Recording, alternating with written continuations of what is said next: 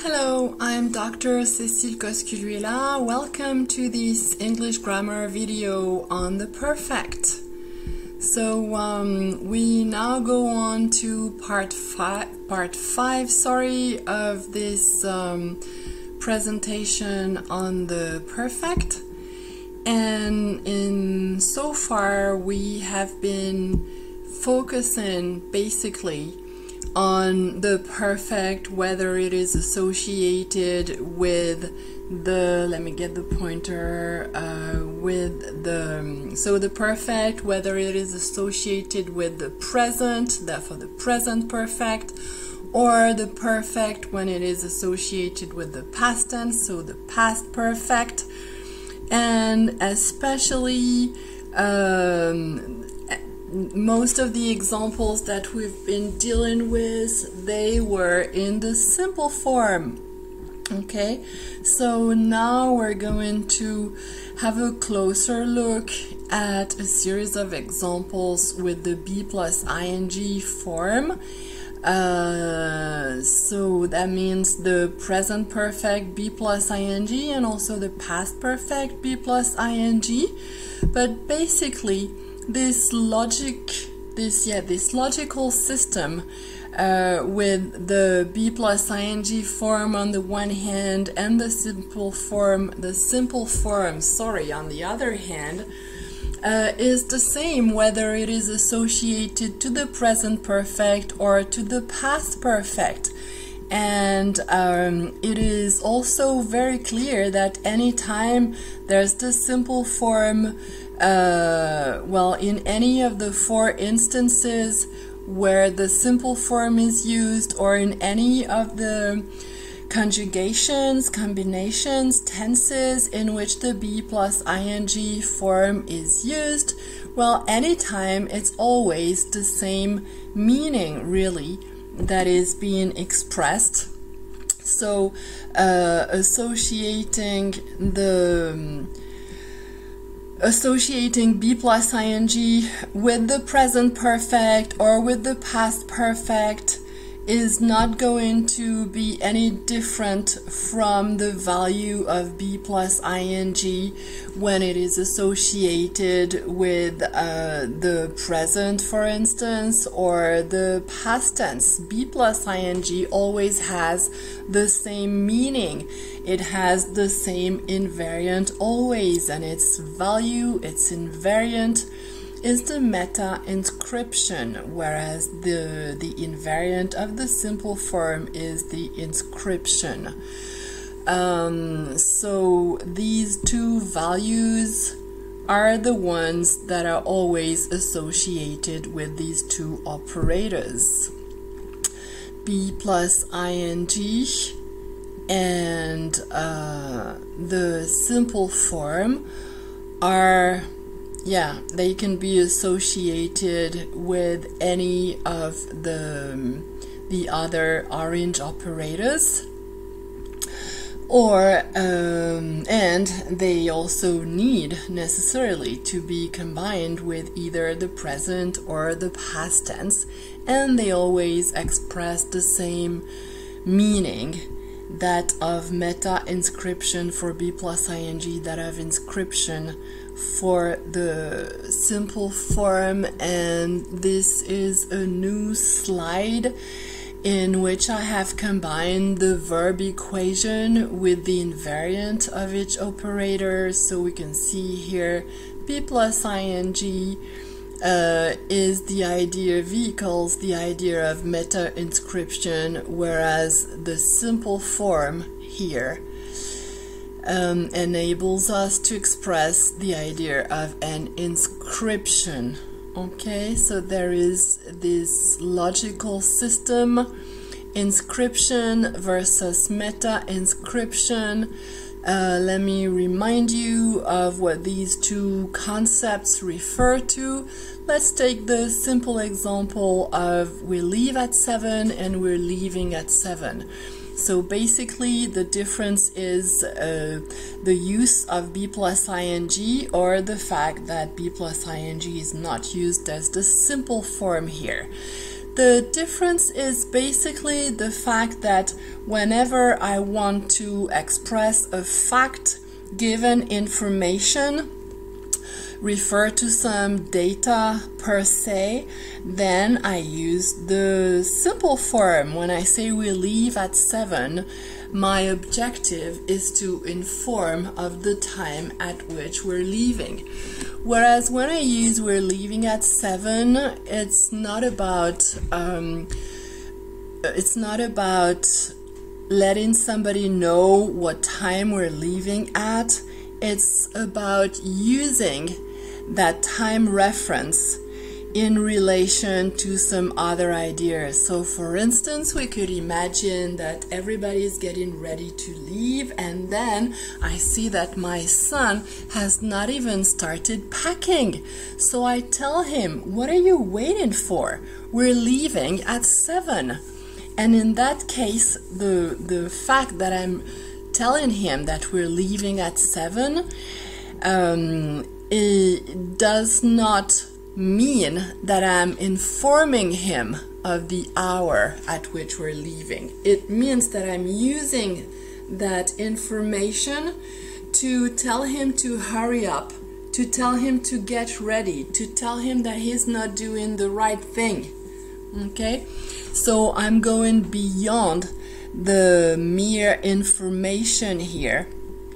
The point being to use it to tell him to hurry up.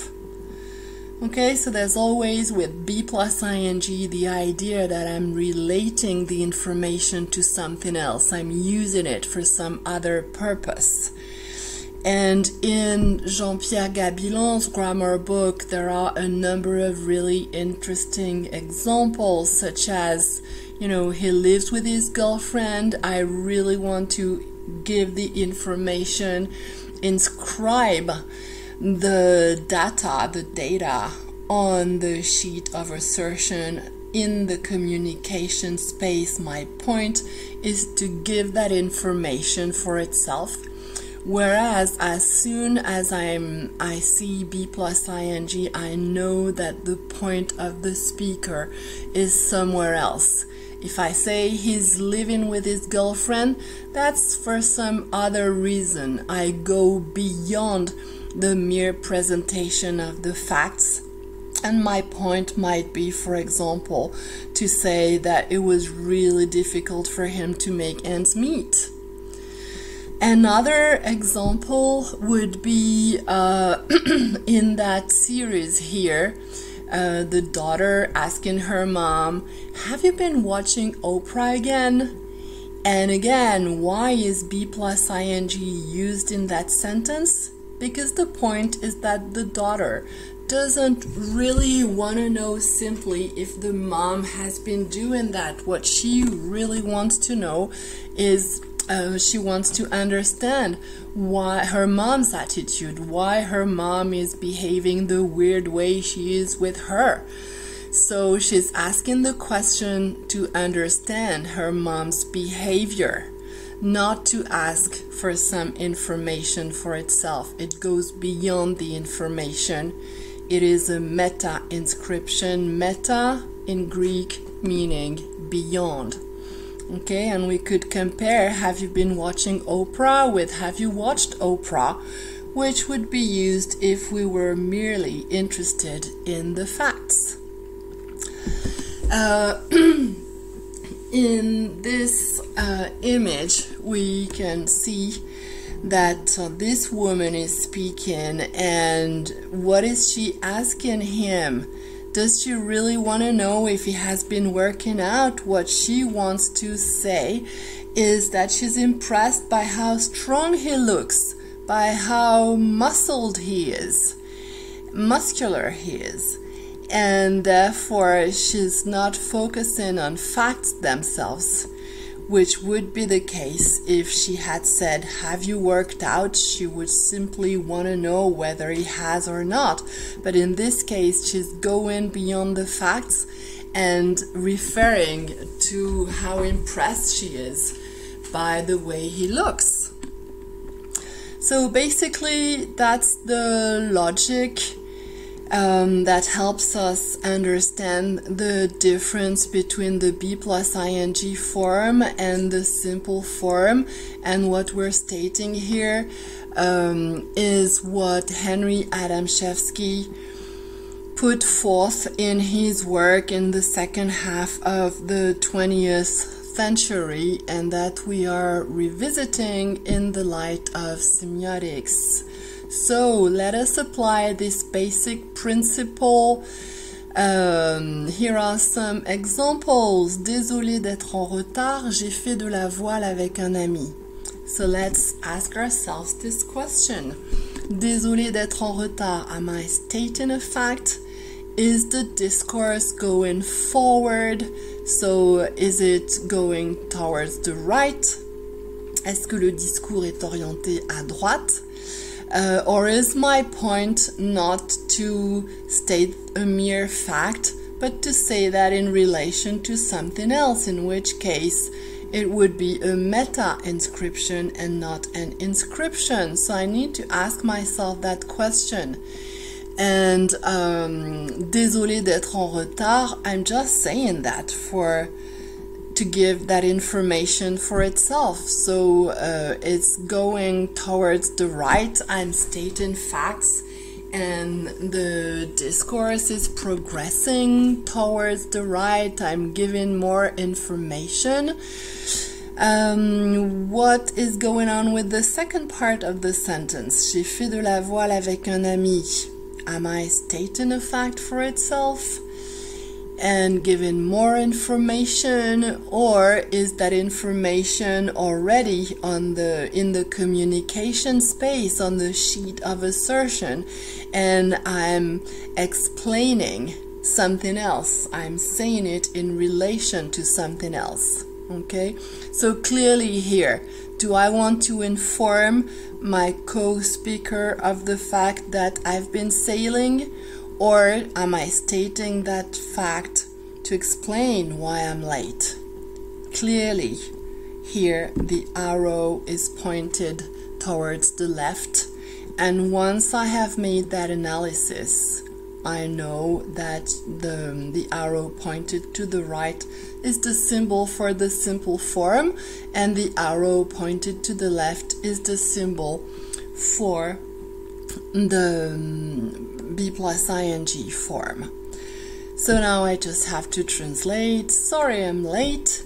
I've been sailing with a friend. And it's the same logic really as the one we have in any other instance of B plus ing as opposed to the simple form we're going beyond the mere facts anytime we use the be plus ing form. So when I say I've been doing that, I've been sailing with a friend, I'm explaining why I'm sorry to be late. I'm explaining why I'm late. Uh, next example, toi, tu as vu trop de films. So, uh, what's the point of the speaker here? Why is that sentence uh, mentioned? Is the point to um, tell somebody, you know, he was uh, supposed to watch two movies and he's been watching three, so uh, he, he saw too many of them? Uh, or is the point to go beyond the facts. And not simply state a fact but go beyond the facts and use this idea of uh, watching movies to say something else. So for instance that you're you're wrong you're imagining things that are not correct okay? And that second interpretation here i think we can easily reach and therefore we know we need to use the be plus ing form. J'ai déjà tapé huit lettres. So again, am I giving some information for itself or am I referring to something else? Well, uh, nothing here tells me that uh, I'm stating anything other than facts. Therefore, I'm, uh, yeah, the arrow here clearly is not pointing in the right direction, okay? So I hope you're all really focusing and following the theoretical principle. So this is a mistake. I've already typed eight letters. The arrow should be pointed to the right because we're merely stating facts. In the next example, je n'en peux plus. That's what I'm focusing on. J'ai tapé des lettres toute la matinée. Is that other elements that I'm referring to for themselves? I'm mentioning more information, or am I using this information in relation to the first part here? Well, obviously, I'm explaining why I'm exhausted. Therefore, I've been typing letters all morning will be the appropriate translation. Regarde ce que tu as fait. Il y a du lait partout. Again, I'm methodological and I ask myself the right questions. Regarde ce que tu as fait. Am I stating that as a fact or am I referring to facts in relation to something else? Well, here clearly I'm pointing to what he's done. So look what you've done. Look at the facts. There's milk all over. Whereas when Paul comes back from school and he's really covered in mud, his mom's gonna ask him, Mais qu'est-ce que tu as fait? Meaning what? Does she wanna know that he did this and then he did that? Obviously not. What she wants is, is to tell him that this is really not possible. He needs to make sure it never happens again, and there's no way he can come back home in such a state. So, what have you been doing? Okay. Um, so A says he got off the plane and fell down. And B's reaction is, oh dear. Had he drunk or had he been drinking? So if I choose the first one, had he drunk, I'm really focusing on facts regardless of anything else. All I want to know is the facts. I want some information.